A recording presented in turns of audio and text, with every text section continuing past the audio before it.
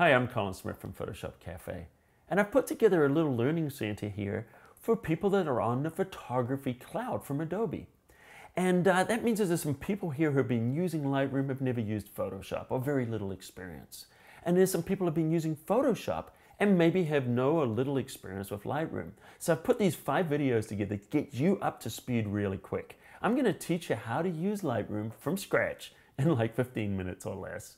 If you're a Lightroom user, I'm going to show you why you would want to use Photoshop and where you'd want to use Photoshop, and vice versa. If you're a Photoshop user, I'm going to show you how to use Lightroom to accelerate your workflow.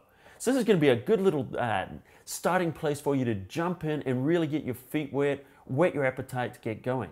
And for those of you who want to get your hands on both of these applications and you haven't heard yet, which I think pretty much everybody has, but Adobe's put together this deal. It's called the Photography Cloud or the Creative Cloud for photographers. So instead of having to subscribe to the whole Creative Cloud for 50 bucks a month, what you can do is for $9.99 a month, you get Photoshop, you get Lightroom, you get the latest version, and also every few months as updates come out, you get all these updates.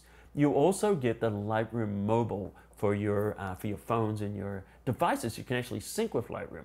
So if you want to know more about that deal, I got a little link here. Click on this little link here, and that'll take you to the uh, Photography Creative Cloud deal.